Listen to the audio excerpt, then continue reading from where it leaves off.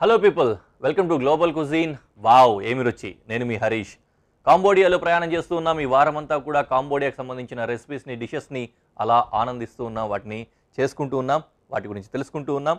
ఇదే క్రమంలో ఈరోజు కూడా ఒక చక్కటి డిష్ని మీకోసం తీసుకొచ్చేసాను. అద్భుతమైన డిష్ చాలా క్లాసిక్ డిష్ uh, ఇది. చాలా అద్భుతంగా ఉంటుంది. జనరల్గా బీఫ్తో వండుతూ ఉంటారు క్లాసిక్ కాంబోడియన్స్ uh, అన్నట్లయితే.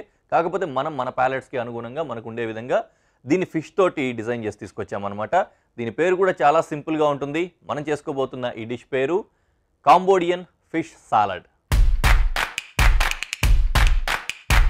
ఈ కాంబోడియన్ ఫిష్ సాలడ్ కోసం కావాల్సిన ఇంగ్రీడియంట్స్ ఒకసారి చూసినట్లయితే ఫిష్ ఉంది ఫిష్ స్టిక్స్ లాగా ఉందన్నమాట. బోన్లెస్ ఇది. చూసుకోవాలి. అలాగే ఇక్కడ లెట్యూస్ వాడచ్చు లేకపోతే క్యాబేజ్ అయినా వాడుకోవచ్చు. అలాగే ఇక్కడ చూసినట్లయితే ఎండుమిరపకాయలు వాడాము. అది కూడా చాప్ చేసి పెట్టుకున్నాం ఆల్రెడీ. గార్లిక్ చాప్ చేసిన గార్లిక్ ఉంది. దాంతోపాటుగా ఇక్కడ చూసినట్లయితే బేసిల్ ఉంది డ్రై బేసిల్. దాంతోపాటుగా టొమాటో ఇంకా ఆనియన్. ఇక్కడ చూసినట్లయితే క్యూబ క్యుకుంబర్ అంటే ఏం లేదు మన దోసకాయ అంటాం కదా అదే ఉందన్నమాట కీరా దోస.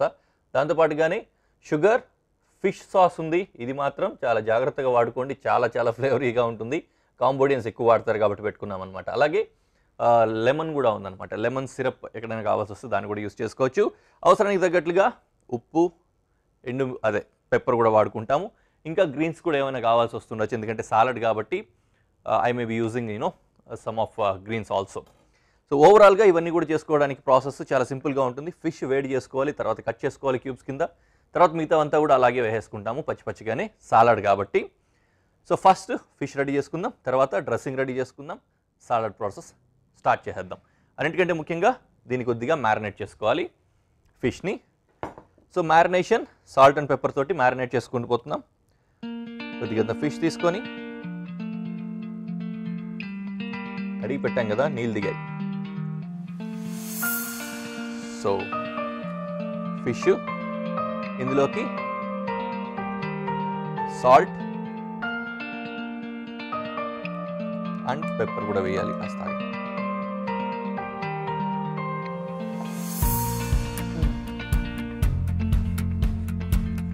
చేప ప్రభాస్ డైలాగ్ గుర్తొచ్చేసింది నాకు. కొంచెం వాసన వస్తుంది కానీ పులుసు బాగుంటుంది అని. సాల్ట్ అండ్ పెప్పర్ వేసేసుకున్నాం కదా సాల్ట్ అండ్ పెప్పర్ తోటి కొద్దిగా అంత మ్యారినేట్ చేసేసి జస్ట్ టచ్ అయ్యే విధంగా అనమాట దాన్ని అలా పక్కన పెట్టుకొని మిగిలినవి కట్ చేసుకుంటూ ఉందాం. ఈలోపు ఇది మ్యారినేట్ అవుతుంది. ఆ మ్యారినేట్ అయిన తర్వాత ఈ మ్యారినేట్లో దీన్ని ఫ్రై కూడా చేసుకుంటాం అనమాట సో దీన్ని ఇక్కడ పెట్టాను. రిటర్న్ వస్తూ వస్తూ ఎలాగో అందివే కదా అని స్టవ్ కూడా వెలిగించేద్దాం. ఈలోపు పెనం పెనం వేడెక్కిపోతుంది. వెరీ గుడ్ ఇవి ఒక్కొక్కటి ఒక్కోలా కట్ చేసుకుంటున్నాను. చూసుకోవాలి మీరు. కీరానేమో జూలియన్స్ లా కట్ చేసుకుంటున్నాను. అగ్గిపుల్ల సైజులో అట్లా వచ్చే విధంగా.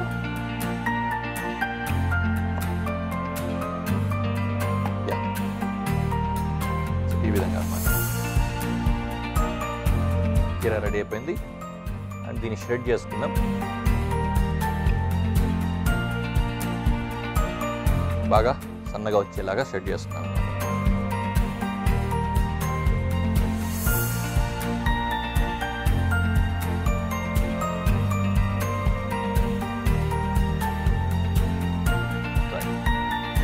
రెండు అయ్యేలోపు పెనం బాగా వేడిగా ఉంది. కొద్దిగా అంత గ్రీజింగ్ చేసుకొని దీంట్లో ఫిష్ని ఫ్రై చేసుకుందాం. I mean to say grill అన్నమాట.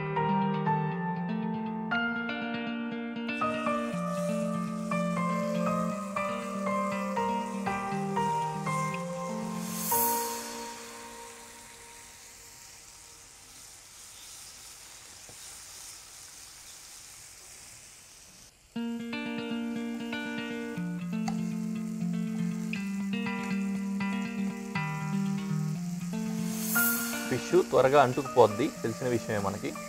అందుకని కాస్త తొందరగానే ఫ్లిప్ చేసుకుంటే ఆ ప్రాబ్లం నుంచి తప్పుతుంది. ఒకవేళ అంటుకున్నా ఏముంది మనం తినేదే కదా లేపుకోవడమే. సార్ అయిపోయింది. టొమాటోస్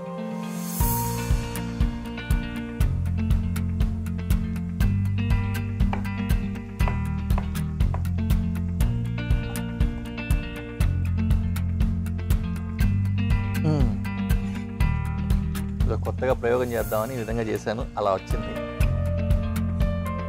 ఎనీవే అలా ఇలా అయిపోద్దని చెప్పి ఆపేస్తే కొత్త ఎక్స్పెరిమెంట్లు ఎవరు చేస్తారండి? ఇదేంటో పూరి పొంగినట్టు పొంగింది చూసారా? చేప చాలా ఫాస్ట్గా కుక్ అయిపోతుందండి. మనం బోల్డ్ అంతసేపు పెట్టాల్సిన అవసరం ఏం లేదు. నిజానికి చెప్పాలంటే లెక్కల ప్రకారం ఒక ఐదు నిమిషాలు నాలుగు నిమిషాలు ఎంతో పెడతారంతే మనం మరీ అంత పచ్చి పచ్చిగా తినలేం కాబట్టి కాస్త ఉడికేంత వరకు పెట్టుకోవచ్చు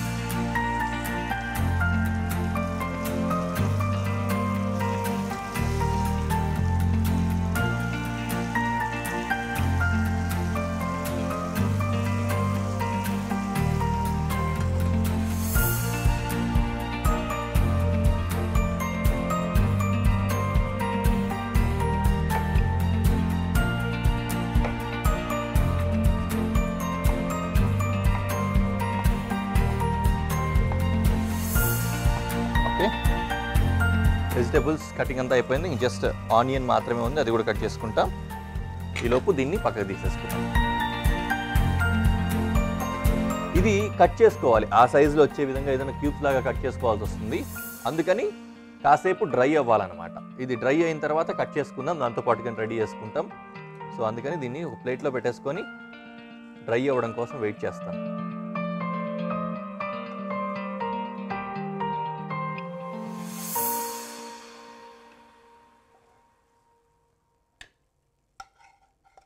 రైట్ సో ఫిష్ అంతా కూడా కుక్ అయిపోయింది. దీన్ని ఆల్రెడీ మ్యారినేట్ చేసేసాము. రెడీ టు ఈట్ అన్నట్టుగానే ఉంది ఇది. ఇంకేం లేదు. సాలడ్లోకి తీసుకొని మిక్సింగ్ బౌల్లో మిక్స్ చేసుకోవడమే కాబట్టి మిగతా విషయాలన్నీ కూడా జస్ట్ ఇంకా మిగిలిన ఆనియన్ని మాత్రమే నేను డైస్ చేసుకుంటా. ఆ అది కూడా డ్రై అయిపోతుంది. కట్ చేసుకొని ప్రాసెస్ స్టార్ట్ చేద్దాం.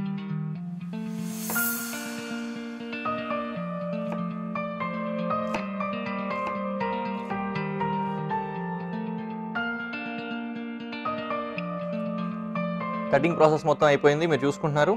వెజిటబుల్స్ కటింగ్ అయిపోయింది. నెక్స్ట్ ఫిష్ ఒక్కటి మిగిలింది. ఫిష్ని కూడా తీసుకొని నీట్గా కట్ చేసుకుందాం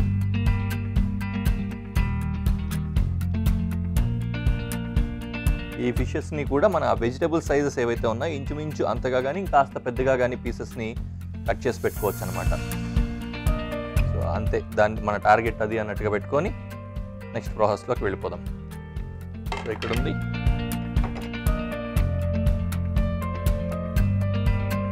బాగా డెలికేట్గా ఉండడం వల్ల ఫిష్ అంతా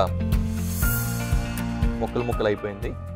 బట్ ఇనివే కొంచెం గట్టి ఫిష్ కనుక అయితే ఇంకొంచెం గట్టిగా ఉంటుంది. సో వెజిటబుల్స్ కటింగ్ మొత్తం అయిపోయింది కదా దీన్ని అక్కడ పెట్టుకొని రిమైనింగ్ ప్రాసెస్. సాలడ్ అనేసరికి మనకి డ్రెస్సింగ్ కావాలి కాబట్టి దీన్ని కొద్దిగా పక్కన పెట్టుకుంటా అక్కడే ఉంచుకొని డ్రెస్సింగ్ కోసం మిగిలిన ఇంగ్రీడియంట్స్ రెడీ చేసేసుకుందాం. సో ఇందులో మనం వాడుతోంది ఫిష్ సాస్. నేను మాత్రం ఇది అంతా వేయదలుచుకోలేదు. అంత చాలు. నిజంగానే చేపల వాసన వస్తుంది అది. సో కొద్దిగా షుగర్ మిన్స్డ్ గార్లిక్ రెండు మిరపకాయలు basil leaves and lemon juice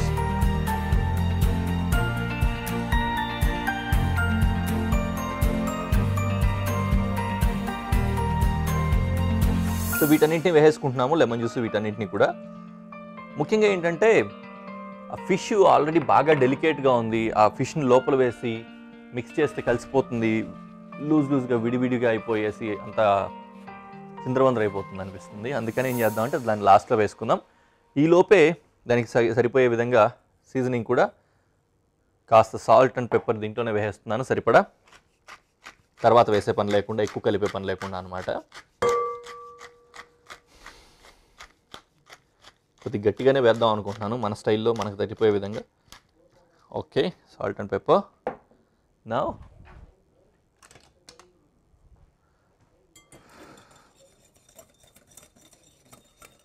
బాగా మిక్స్ చేసేసుకొని మిక్స్ చేసిన తర్వాత వెజిటబుల్స్ వేసి టాస్ చేద్దాం. సో ఇది సరిపోయింది. ఇక్కడ పెట్టుకొని వెజిటేబుల్స్ వేస్తున్నాను ఫస్ట్ ఫిష్ తర్వాత వేసుకుంటాను. ఎందుకంటే ఇందాక చెప్పాను కదా ఆ విధంగా పొడి పొడి అయిపోకుండా ఉండడానికి కోసం అనమాట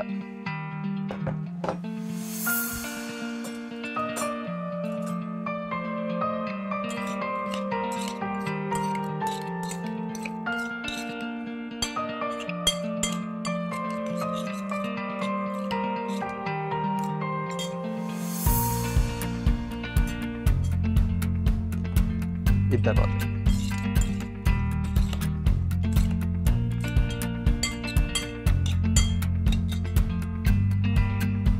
ఆల్రెడీ ఫ్లేవర్స్ వస్తున్నాయి ఎంత సింపుల్గా ఉంటుంది తెలుసా? ఇంగ్రీడియంట్స్ మీకు నేను చెప్తుంటే అనిపిస్తూ ఉంటుందేమో. దాంట్లో ఏం వేసామని ఫ్లేవర్స్ వస్తుంటాయి ఏం వండారని ఫ్లేవర్స్ వస్తున్నాయని నిజంగానే నాకే అనిపిస్తూ ఉంటుంది. ఎవరైనా చెప్తే అలా అనిపిస్తుందేమో నాకు అని. కావాలంటే ఇంకొద్దిగా పెప్పర్ కూడా యాడ్ చేసుకుందాం. దీనికి ఆల్రెడీ మ్యారినేట్ చేస్తాం కాబట్టి దీనికి ఫ్రెష్గా అవసరం లేదు కాబట్టి లాస్ట్లో నలిగిపోకుండా కొద్దిగా వేసుకొని టాస్ చేసుకుంటే కలిసిపోవడానికి సరిపోతుంది.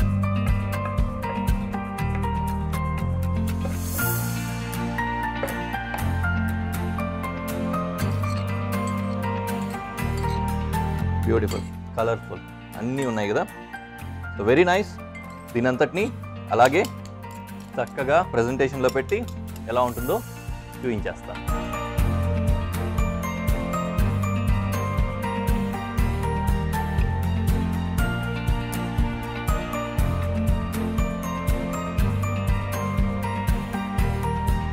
చాలా చక్కగా బ్యూటిఫుల్గా వచ్చిందండి. కన్సిస్టెన్స్ నీట్గా కనిపిస్తుంది అనమాట చేప ముక్కలు ఇంకొద్దిగా ఎక్కువ బాగానే ఉండేవి.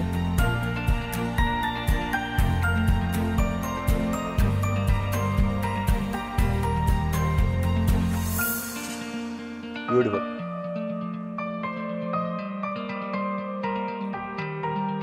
చాలా చక్కగా ఉందండి.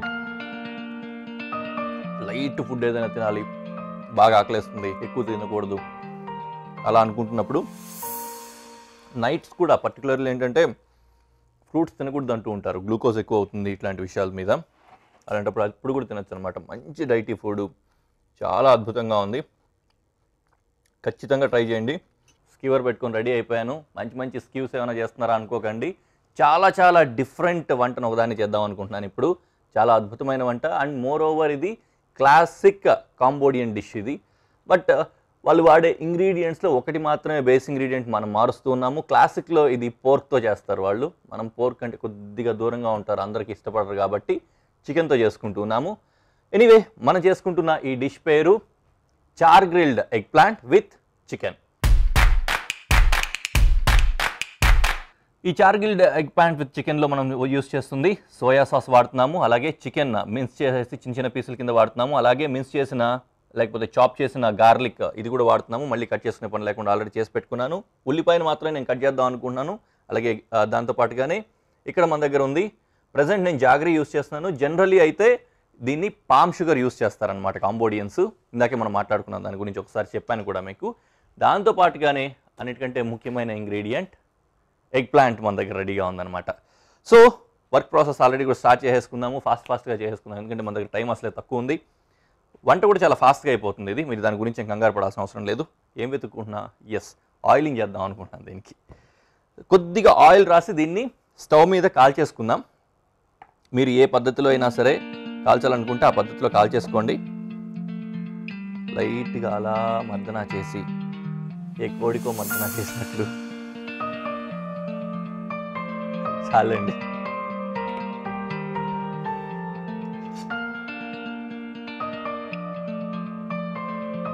ఆల్రెడీ హోల్ చేసి పెట్టుకున్నా అందుకే అంత సాఫ్ట్గా వెళ్ళింది. లేకపోతే అంత నీట్గా వెళ్ళదు. అలా పెట్టి.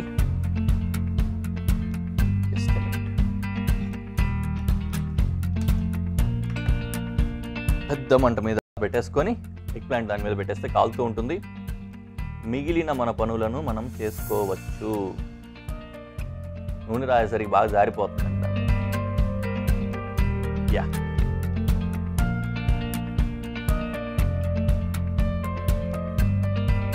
ఓకే? బాగా కాలాలి అది. టైం పడుతుంది బాగా కాలడానికి. దాన్ని అలా పెట్టుకుందాం. ఈలోపు మనం ఇక్కడ చేసుకోవాల్సిన పనులు మనం చేసుకోవచ్చు. ఏం లేవు నిజానికి చెప్పాలండి ఖాళీగానే ఉన్నా. ఉల్లిపాయను మాత్రం దొరుకుకోవాలి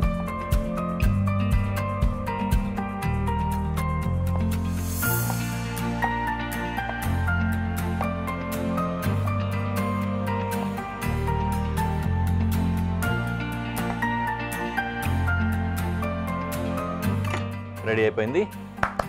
కాలేవా ఇంకా లేదు. సరే దీన్ని కాల్ చేసి పొట్టు తీసి మిగతా పని ఉంటుంది. ఇది కాలేంత వరకు జస్ట్ చూద్దాం. అండ్ మోర్ ఓవర్ ఇంకో పని చేసుకోవచ్చండి. ఇది ఇట్లా కాలుతుంది కదా ఎలాగూ? అప్పుడే ఐడియా వచ్చింది. పెనం పెట్టుకొని ఈ ప్రాసెస్ అంతా కంటిన్యూ చేయాలి.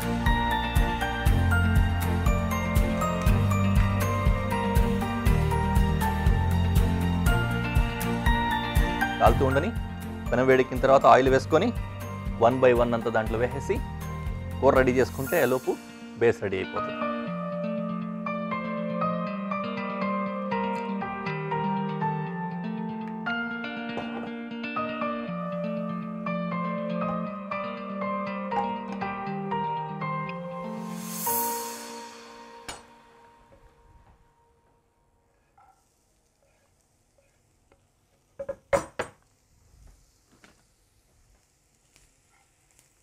కొద్దిగంత వేయించేసుకొని మిగిలిన ఇంగ్రీడియంట్స్ అన్నీ వన్ బై వన్ వేసేసుకొని చేసుకుందాం ఒకటి మిస్ అయ్యాను నేను ఇప్పుడు.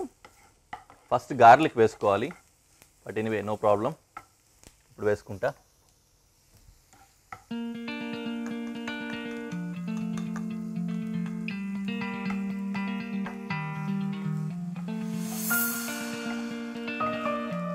ఈ విధంగా వేడి చేసుకుంటున్నాం మగ్గిన తర్వాత వన్ బై వన్ వేసుకుందాం.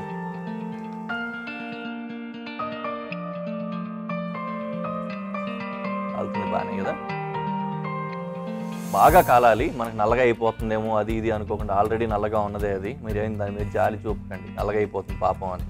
అదేమన్నా ట్యానా? ఫీల్ అవ్వడానికి. కాలనీయండి అలా కాలుతూ ఉంటే ఈలోపు పక్కన ఈ ఉల్లిపాయలు వేగిపోయాయి.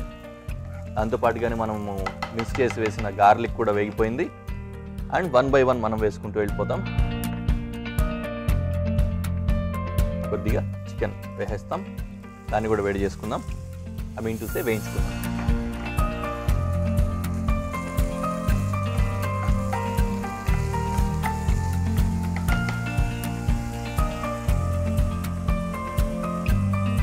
ఈ పైన పొట్టంతా కూడా తీసేస్తాం మళ్ళీ.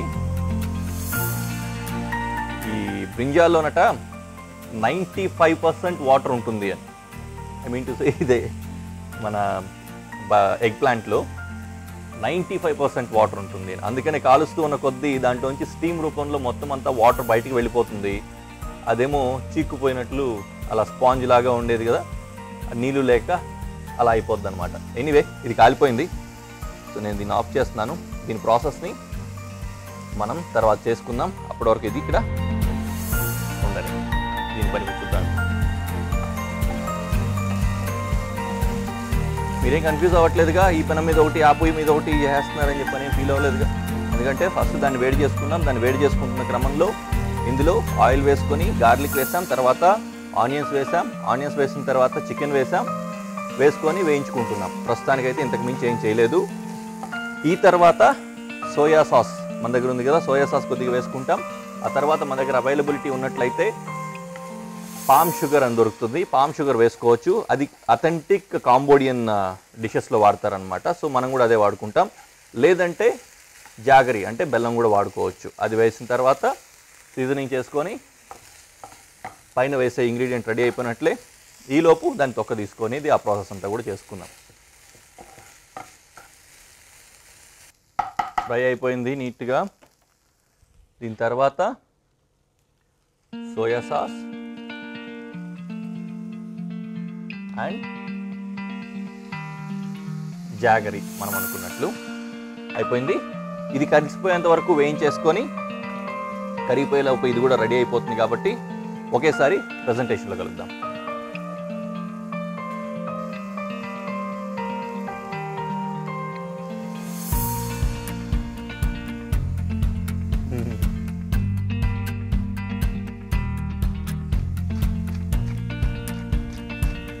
రూపాయలు ఇచ్చిన రుచి మాత్రం రాదండి. ఉప్పు కారం లేకుండా.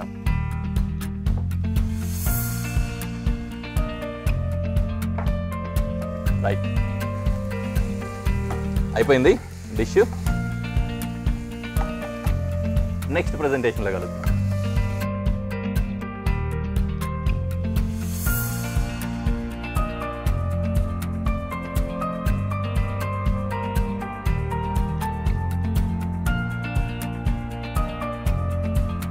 అయిపోయింది. సో ఏం చేసాము చూసారా ఇంతకీ? చేసిన కూర అంతటిని కూడా జస్ట్ పైన పెట్టాము. బేస్ కింద అంటే అన్నంలాగా మాత్రమే ఎగ్ ప్లాంట్ని వాడుకున్నాం.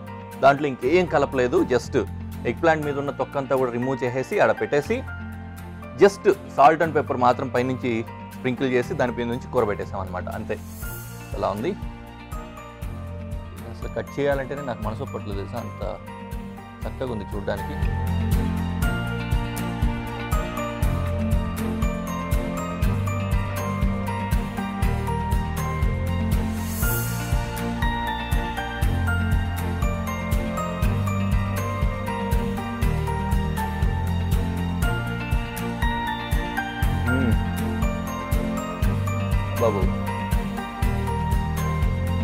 స్మోకీగా చాలా బాగుందండి.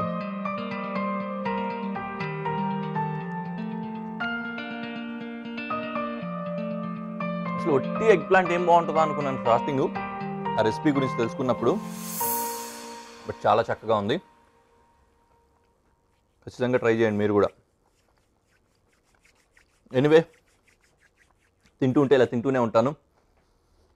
మీరు కూడా చక్కగా ఈ విధంగా చేసుకొని తినాలని నేను అనుకుంటున్నాను. మరో డిష్తో మరో ఎపిసోడ్లో మళ్ళీ కలుద్దాం.